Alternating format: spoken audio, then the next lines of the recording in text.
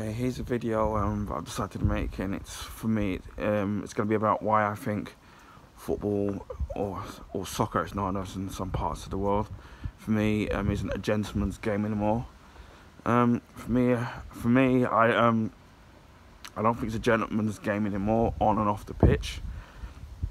Um, simply because obviously now it's, it's just about corporate interest and money and the actual love of the game for me is kind of gone.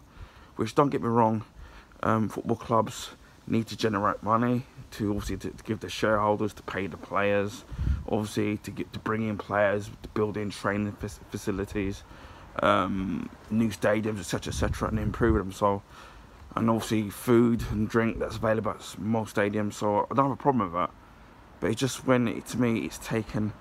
Um, that's become the the, um, the first and foremost thing that's kind of going on rather than the actual enjoyment of the game.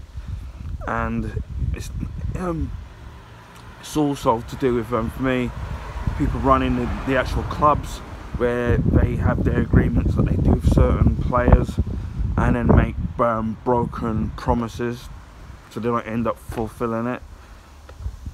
Also, with the players' side of things, there's a nasty little thing that I'm starting to notice where if players um, want to leave a club, which they're entitled to do, even if they're under contract, there was a time when um, you had to get the club's um, agreement to be able to, or permission, should I say, to talk to other clubs if you wanted it, if you wanted to go. And obviously, if the clubs didn't allow you to go, obviously they can still hold you there by your contract, or you could hand in um, a transfer re request. Again, it's whether or not the clubs accept it or not.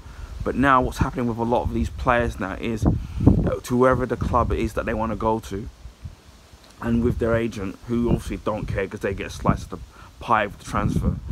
Um, where what they're doing now is that they're making arrangements and deals with the, the club that they want to go go at, pretty much agreeing how much you want to go for, how much you want to get paid, and etc. etc. etc. And they're doing this even with, um, without the permission of the club, which I think is not only a bit distasteful, but um, I do think, think it's a little bit disgraceful in the sense that you're going behind um, the club's back without the permission of the club to talk to the people. So you're just doing it behind the person's back.